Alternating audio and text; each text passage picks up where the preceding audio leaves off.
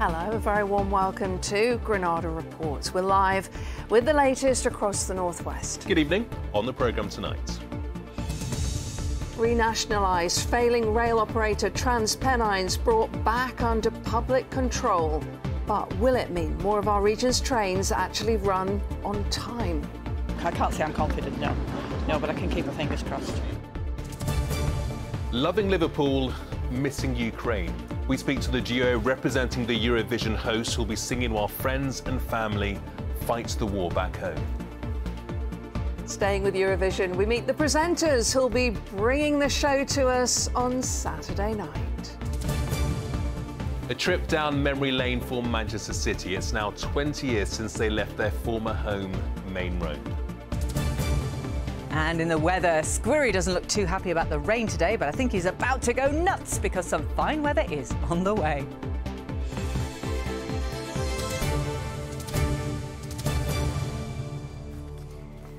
So, first, is it a turning point for our rail services in the north or just more of the same? That's the question many commuters are asking tonight. The government has announced that it is renationalising TransPennine another of our failing rail operators. Well, the move follows at least a year of delays and cancellations by the operator, which runs services across the north of England and into Scotland. It also follows a meeting between Northern Mayors and the Transport Secretary three months ago. TransPennine were put on what they called a recovery plan. There were some improvements. But not enough. In March, as many as one in six services were cancelled, often with little notice. TransPennine said many problems stemmed from issues beyond their control. They included the ongoing disputes with the drivers' union ASLEF. So, in just over a fortnight, just in time for the next bank holiday on May the 28th, the operator will be back in public hands. Our reporter Zoe Muldoon has reaction to today's decision. Chaos, shambles, a mess. Words used to describe train operator TransPennine Express. After continuous cancellations and commuter misery, today the government stepped in. To achieve the performance levels I expect that passengers deserve and that the northern economy needs, I have therefore decided not to renew or extend First TPE's contract when it ends on the 28th of May. Latest figures show TransPennine Express cancelled an average of one in six services in March. Commuters in Manchester today say things simply can't get any worse. They've been useless for ages, so, you know, it was only a matter of time before they were um, closed, out the contract. You know, let's hope we get a better new service. My train was fine, it was about five minutes late, but the one after that was cancelled. So, you know, that's what they do, cancel them all the time. I feel like when it's under government control, uh, it's more it's more um, directed towards the people. They're unreliable, the drivers, there's never any drivers. And they just cancel them all the time. Like there's been so many delays. Like today, I'm having to go home to Scotland earlier because the train strike tomorrow. I can't say I'm confident, no. No, but I can keep my fingers crossed. I think that's what we're all doing. TransPennine covers Manchester and Liverpool, where the mayors of the two cities have called for government intervention for months. The disruption to people's lives, the damage to our economy, uh, to businesses, you know, we've put up with more than we, we should have uh, had to put up with. But to be fair, the government has listened. Myself uh, and the other mayors consistently spoke out. I think the governments have bought themselves some time to see whether there would be significant improvement with TPE, and there hasn't been. But the proper long term solution is to do away with this fragmented system that we've got and to bring it back under public ownership. But the Transport Secretary today dismissed calls for the nationalisation of all rail services, stressing this latest move would be temporary. Along with Northern back in 2020, TransPennine Express is the second major rail operator in the north of England to be nationalised.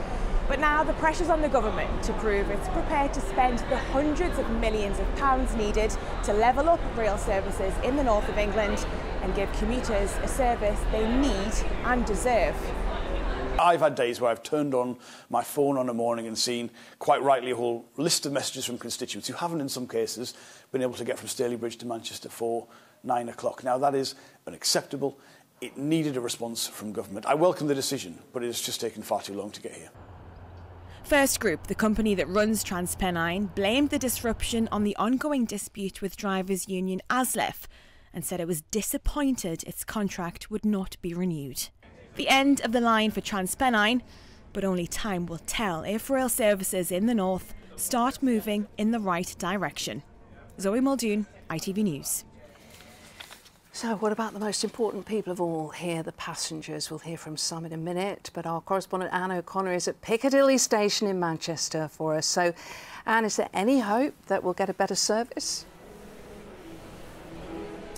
Well, Lucy, Northern Rail was effectively nationalised back in 2020. Now, the pandemic, the lockdown, the lack of travel have somewhat muddied the figures on that, but there have been some improvements. If we look at the year 2021 to 2022, so after the government took over, 67% of their trains, just over two thirds, were running on time, and that was up from 55%, just over a half. Cancellations fell to 3.3%, and that was only down from about 4.1%, so less improvement there. But there has been a big difference in complaints from customers.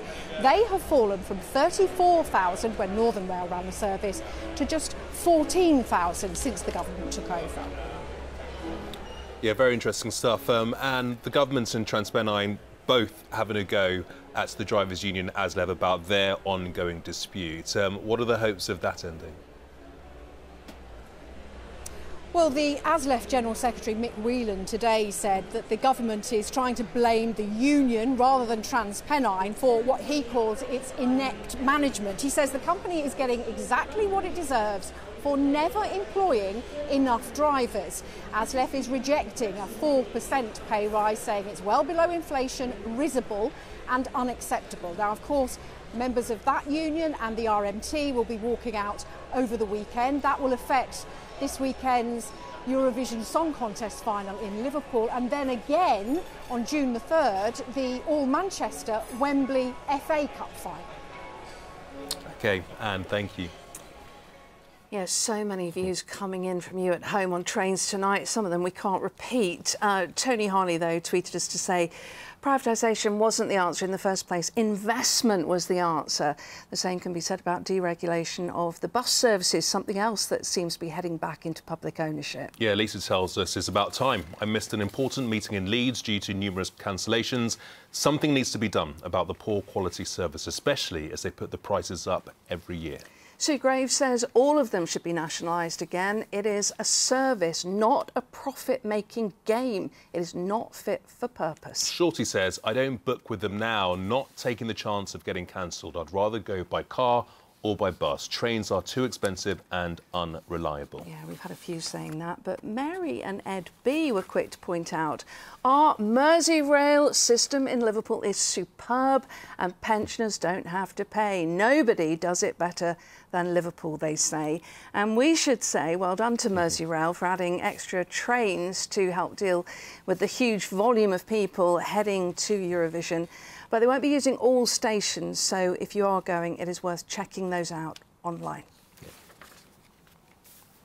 Okay, and um, other news today, and a man has been arrested on suspicion of manslaughter after the remains of four Vietnamese nationals were recovered from a mill fire in Oldham.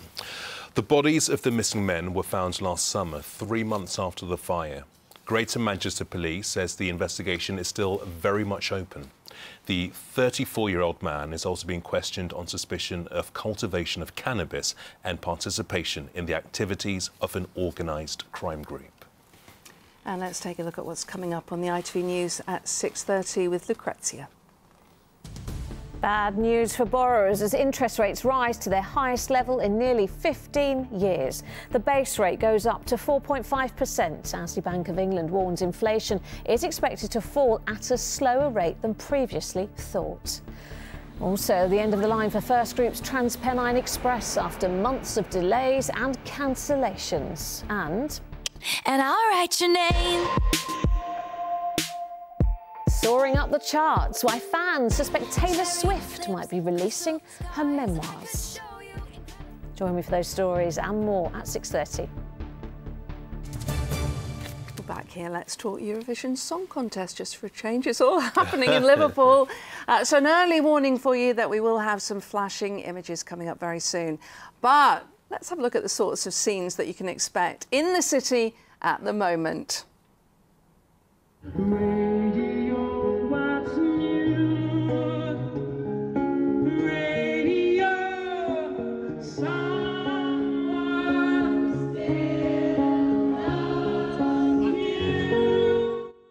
You can just see from that what a great atmosphere there is. That's an impromptu performance by Sam Ryder on the Albert Dock on the steps of the old Granada Reports office. Just look at that crowd. So, two sleeps to go until the big night on Saturday.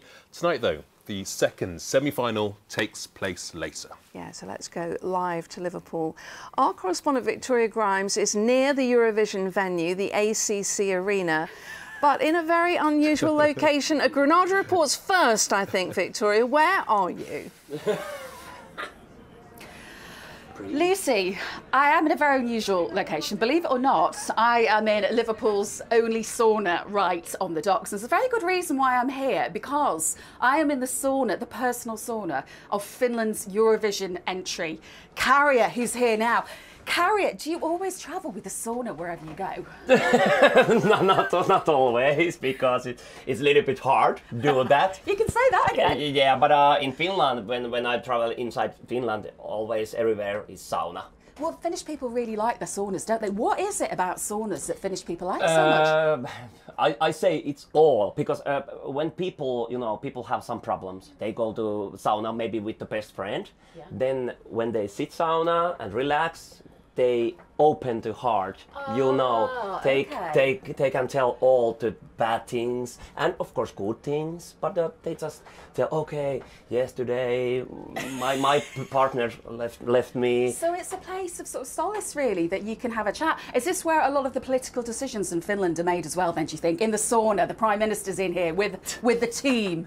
Maybe that's what happens. I don't know, but they don't dress like this, so Käärijä, because I'm starting to understand why you always have a bare torso and your shorts on because Yeah. it is very hot. But I, I don't dress like here. that when I go uh, the really, really sauna. But now we do like that interview and I don't want to be here naked. Really glad you're not here naked. but we can do that if you want. Well, but no, uh, no, no, I don't. I don't maybe better. I better don't think the Northwest needs to Yeah, see that. yeah, I don't think the. Northwest needs Yeah, to see that. yeah. Now, let's talk Yeah. semi-finals. It's semi-final number two tonight. You were in semi-final number one on Tuesday. What will the Alps be feeling right now? Uh, I think so. Some of these people are nervous, of course, because uh, now that all happened and they maybe can take the ticket and go to final. Yeah, it's a big thing, isn't it? Yeah, It but is. I hope uh, these artists uh, just go and enjoy because this is the one in the lifetime, you know. And uh, if you not go to final, that's it. But That's uh, it, yeah, but that's yeah, you know. Käärijä, thank you. Well, there's one act that doesn't need to worry about going to the semi finals. It is, of course, Ukraine. As winners last year, they're guaranteed a place in the grand final on Saturday. I met up with Tvorchi, who are the Ukrainian acts. Käärijä, you've met them. They're lovely, aren't they? Great guys, Tvorchi. Of course. They're lovely. These guys are lovely guys. And they had um, a lot to tell me about their song, Heart of Steel. And there is a warning that this report contains flashing imagery right from the very beginning. Give us a cha cha cha out. Cha cha cha cha cha cha. Don't get what you say, yeah, yeah. Don't get how you feel. Get out of my way, yeah, yeah. Guess I got a heart of steel. Well, the song is a statement to say everyone should uh, take inspiration from uh, the Ukraine because in the current situation, Ukrainians are able to keep like a positive attitude in such a negative situation, and that's what the song is about. The song is about strength and courage and bravery, and that's what uh, the brave uh, fighters who've been fighting for. Um, God knows how long, you know, have been uh, on the front lines doing uh, the best they can, and I think it's um, it's very important that we put everything in the forefront. You can't never imagine how it's how it is to live uh, with the thoughts that any minute missile can hit you or maybe your family or maybe your friends or maybe your pet. This this is just you know every day you woke up with those thoughts, you go to sleep with those thoughts. Have you got a lot of friends still there? One of my friends is on the battlefield. He's commanding troops, and we were helping him, uh, like buying some walkie-talkies, some other things that he was uh, needed. And how worried about them are you? You don't know what can happen in any minute. We can talk now, and next minute someone can die. It must be a strange feeling to be here in Liverpool for Eurovision, knowing what's going on at home. We felt a bit sad that we can't make the Eurovision at our country, but we feel a huge thanks to the United Kingdom for hosting it, and we want to say a huge thanks to all the countries who help Ukraine because uh, together we can beat this evil and have all everybody can have peace. Have you had a good welcome in Liverpool? We've seen uh, a lot of things that uh, Liverpool has done to um, make Ukrainians feel at home and make uh, you know the whole mm, build a whole contest basically around uh, Ukraine, and that's been amazing. And a lot of flags. Yeah. Look, and a lot here. of flags, yes, as well. So that's amazing. Yes. It just feels like a big family together. So it makes our hearts more warm, our still hearts. Don't scared to say just what you think. Cause no matter how bad someone's listening. What would your message be to those people from Ukraine who have found refuge here in Liverpool? What would you like to say to them today? And you're going to do it in Ukrainian. А я скажу, ем, неважливо, які б важкі часи не були, нам завжди важливо залишатися сильними, сміливими і вільними. І скоро ми зробимо все для того, щоб ми перемогли, і всі повернемося в нашу квітучу країну і будемо жити разом і робити все для того, щоб наша країна стала ще кращою. I said that uh, all of us live now in hard times, but definitely after the darkness comes light, and uh, uh, all of us will come back to our lovely Ukraine, where we're gonna live, do better future for all of us, and make our country uh, marvelous and fabulous. Slava Ukraini! Yeah, what a lovely interview with them. Quite a strange interview before that as well. we'll have the unedited version going online later. OK, time for sport now. And good news for fans ahead of the all Manchester FA Cup final at Wembley, David. Yeah, that's right. There's a helping hand for United and City supporters heading down to the capital on June the 3rd. Well, the Football Association has today confirmed it'll put on an additional 120 buses to ferry fans from Manchester to the final. Well, that's an extra 60 buses for each club. Spaces are open to anyone with a match day ticket and it's all to help cut down on travel disruption with rail strikes planned on that day. Well, Bolton, Stockport and Salford also have dreams of reaching Wembley, but in the playoffs. Now, four years after being relegated from the Championship, Bolton want to return to it, and they'll have plenty of support on Saturday when they're at home to Barnsley in the first leg of their League One playoff semi-final.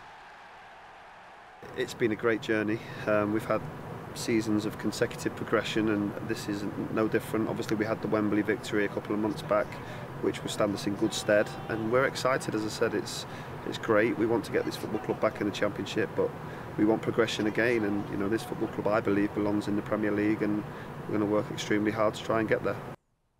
Well, there's an all Northwest matchup in the League Two playoffs as Stockport and Salford face each other in the semi final. Salford have the home advantage for the first leg this weekend. Defeat in their last game saw them only just hold on to their playoff place on goal difference. While for Stockport, well, it's a second chance of going up after missing out on automatic promotion. The objective that we wanted at the start of the season is still up for grabs against a local rival, but I think even the plus four really, really evenly matched teams who all come into the competition in good form. Um, and regardless of who's playing who, probably a toss of a coin games. There's quality in all of the sides. That was one building step was to make the playoffs. So we've done that. That's the first time in the club's history. So that's amazing. And now it's trying to obviously win the semi-finals and get to the final. So yeah, if we, if we didn't clinch it, maybe next year we make a bit more pressure. But that's the first time, so there's been no pressure whatsoever. Now, today marks 20 years since Manchester City played their last game at Maine Road. After a century at the stadium, they moved to their new home, the Etihad Stadium, following the 2002 Commonwealth Games. Jamal Williams Thomas has been speaking to fans and former players who have very fond memories of the famous old ground.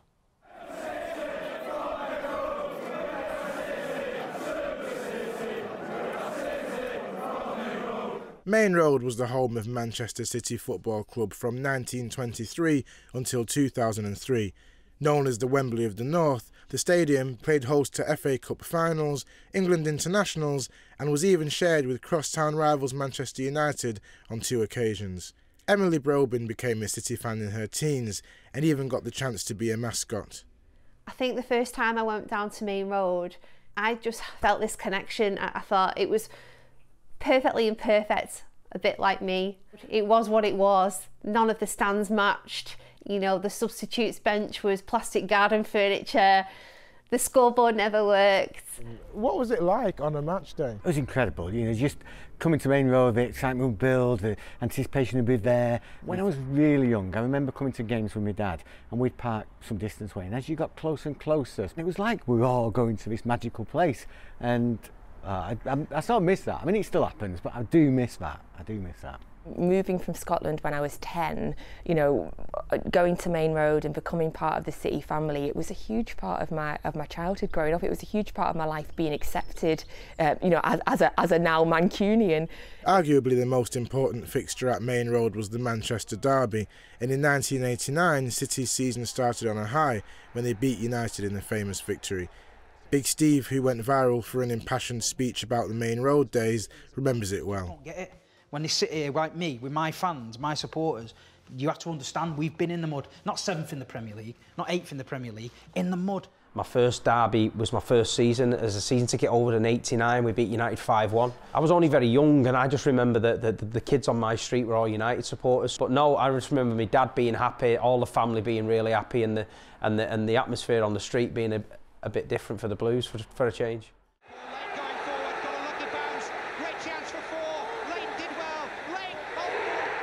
One player to play in that game was Paul Lake. Whilst en route to the game, he had an inspirational exchange with a supporter. A, a, a, fan saw me with his son, and his son would have been about five or six. He was holding his hands, and he just clocked me. He just stood up and put his hands together in the prayer position and said, "Oh, please, please, like this." After the final whistle, there was euphoria around Maine Road. People stayed people stayed and enjoyed the experience. And when you were inside because we were under the stand you could hear the singing and it was the the actual rafters were bouncing up and down. You know it was um it was it was great to be a part of that. We used to park up in the Kippax car park behind the stand and have to walk through the fans to get to the into the changing room. And at the end of the game we'd have to wait in the players bar if you know if we had a nil nil against Bristol Rovers we had to stay in there until all the fans were gone. We used to go watch it City, used to think, oh, how many is it going to be today, or how many we're going to get beat by today. And we always turned out, there was only, there was always, you know, 30,000 there at Maine Road, every, every single game, no matter how bad it got. And that's um, proper fans, yeah. When Maine Road was demolished in 2004, this housing estate of around 300 houses was built along with a new school. However, in the middle of the estate, a permanent tribute to club groundsman Stan Gibson was created where the centre circle was, a lasting tribute to what once stood right here in Moss Side. I mean, obviously, as a football fan, you want every bit of the ground to be remembered and, and so on. Um, but that's not how it can be, unfortunately. And I, I love the fact that there's something here about City. Hopefully, that'll stay here for generations. And if you want to see more on Maine Road, well, there's an extended version of Jamal's report on our website. There we go. Old stadiums. I mean, the new ones are good, but the old ones yeah. still great. Oh, I don't know. They're not looking back at the moment, are they? I think Jam enjoyed doing that report. I think he did. He'll be watching it over and over again on our website. OK, let's get back to Europe's biggest party night this weekend. And if you're watching at home, have you chosen your outfit for Eurovision yet? There are some fabulous ones around already. And the live final is on Saturday night. It is on BBC One at 8 o'clock and it will be brought to you by a whole heap of famous faces. Our entertainment correspondent Caroline Whitmore went to find out how excited they are. Well, ahead of the big night, we've had the chance to meet the Eurovision presenters here at the British Music Experience, where, fun fact, Sam Ryder's Spaceman jumpsuit is now on display until next year. Hands up if you're excited for the Eurovision Song Contest 2023 in Liverpool! Yes! I can't do shit. this top's really tight, so I'm going to do it up. Someone put his hands up. There they are. How proud are you to, to be part of this? So proud. The excitement is really well and truly on. Banners were popping up on the tunnels, on buses, in cafes. Menus have changed. I think there's you know paintings of Sam Ryder in some cafes. But ultimately, we're representing the Ukraine. We're hopefully going to put on a good show for them. got a huge responsibility this year. I think, you know, all of us have fallen in love with Eurovision in a way we never have before because we're doing this for our friends in Ukraine. It's given it a whole new meaning. And we love Liverpool, it's the heart and soul of music. The people up here are so passionate. Tell us your role within the Eurovision. Well, I'm going to keep it all together. Of course she is. Not. Julia, you're a huge music star in Ukraine. How excited are you that we are kind of putting this on together as, you know, united by music? I think that's right slogan and that's right feeling. People in Ukraine are waiting for this. Unfortunately, the war is going on. We still need your support and we're really grateful to, to the whole civilized world who supports Ukraine. Yeah. We are here for for the music, of course, but for me just as much, we are here absolute lock tight solid hands across the water with Ukraine and that's why I had to get involved. Me and Rylan are going to be uh, doing it on the radio, the final, which means we have to describe everything because it's the radio and you can't see it Yeah. on Radio 2. Me and Scott, we've done this now for what six years together now, and we are Eurovision husbands. So Scott, Scott's, They're closer than Scott's seen me. Yeah, Scott's seen me in positions he shouldn't have. I've seen you at Um, your best and your worst. Best and worst is exactly the way to describe this. My role is I'm receiving the baton and then passing it back. and passing it back to Graham Norton in the commentary box. I think I'm the first ever woman to I be in that. the final. Yeah. Who is the biggest Eurovision fan? I think it's you. Action. Im sereli u testa vodkeri jehong nenen armam. The Ant and Dec thing, oh my goodness. Oh. Every time now are you like, is this They've real? got them two little Jordans. Oh, honestly, there's been. I had to do some green screen filming the other day for Eurovision, and I walked in and was like, "Hang on, Yes, am I check. riding anyone here? Like, they've ruined my career." Good luck with it, enjoy it. Happy Eurovision. Thank you. Yes, get me in there. I'll go on that stage. going to be brilliant, isn't it? It is. And she is sweet, Caroline. Yeah. Of course. Here's Emma with the weather.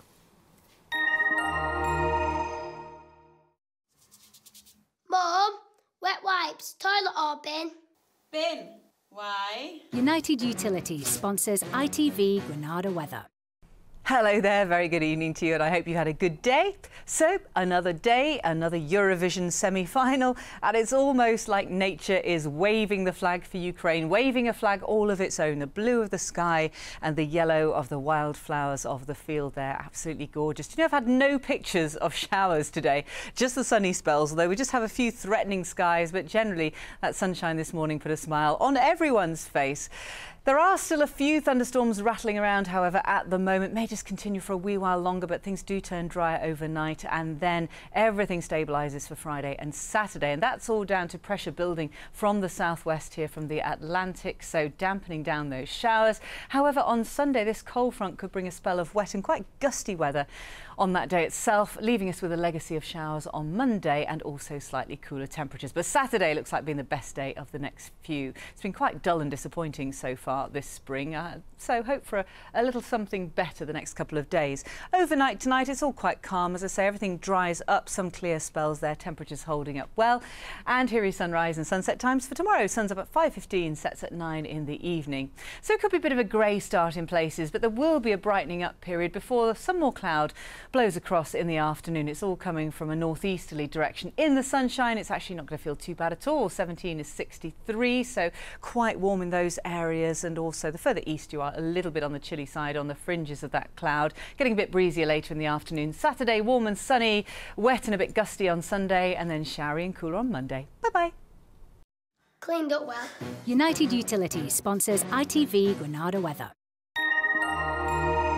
Okay, let's uh, leave you with live images from Liverpool as we build towards Saturday night's grand final of Eurovision. And we're going Eurovision-tastic on tomorrow night's show, so do not miss it. Yeah, what a great time to be in Liverpool, the city that's really taken Eurovision in Ukraine to its heart.